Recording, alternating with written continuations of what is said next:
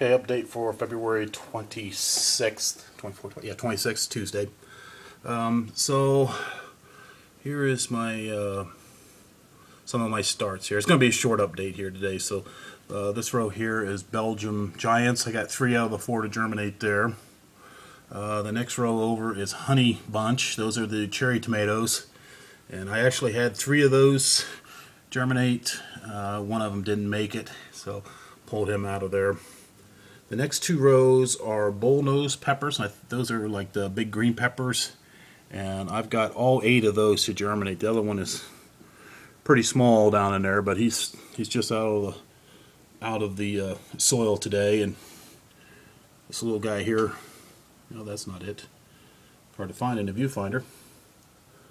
Uh, there it is. That little guy there popped up yesterday, so and then my left side over here is the Anaheim chilies. I was almost ready to give up and reseed these.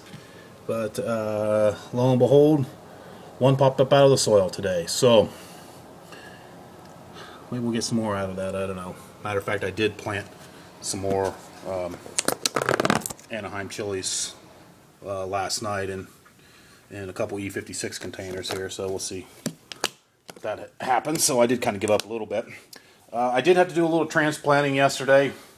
Um, I transplanted a couple of my watermelon. You can see that guy over there is drooped over. I don't know if he's going to make it or not, but they're so tall and lanky, and the root system is so shallow on them that they're they're not wanting to stand up. So I had to repot them and get them deep into a, into a pot to give them some some rigidity there. So I tra only transplanted three out of the seven there. You know, say I'm probably going to lose that guy over there, so put me down to six here for too long. And uh, my peppers, some of these guys are really big.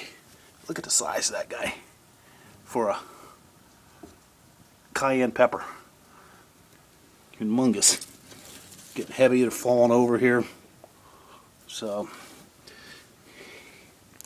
and then there's some starts up there. Okay, I gotta go. We'll see you.